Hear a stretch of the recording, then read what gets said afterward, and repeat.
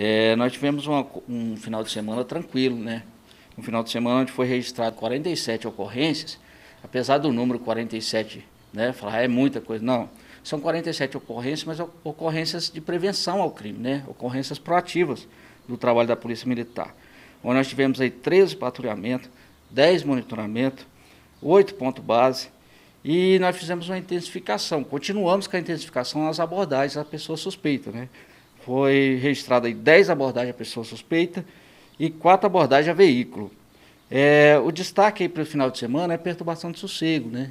É, nós recebemos uma ligação, uma denúncia, várias ligações, na verdade, que num setor da cidade havia um, um veículo com som alto, né? um som é, com, com volume excessivo. Né?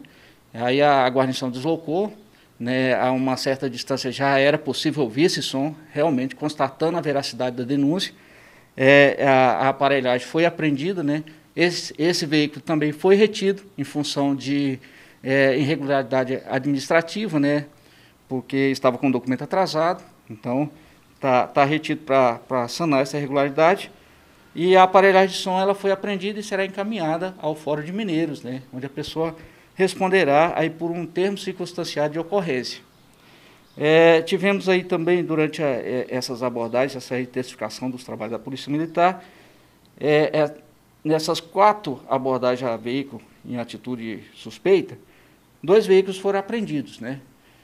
Mais uma vez, vamos, a, vamos deixar o alerta a, aos condutores vamos atualizar a documentação. Né? Esses, esses dois veículos foram apreendidos estar com documento atrasado e também os condutores não tinham CNH, né? a falta de CNH.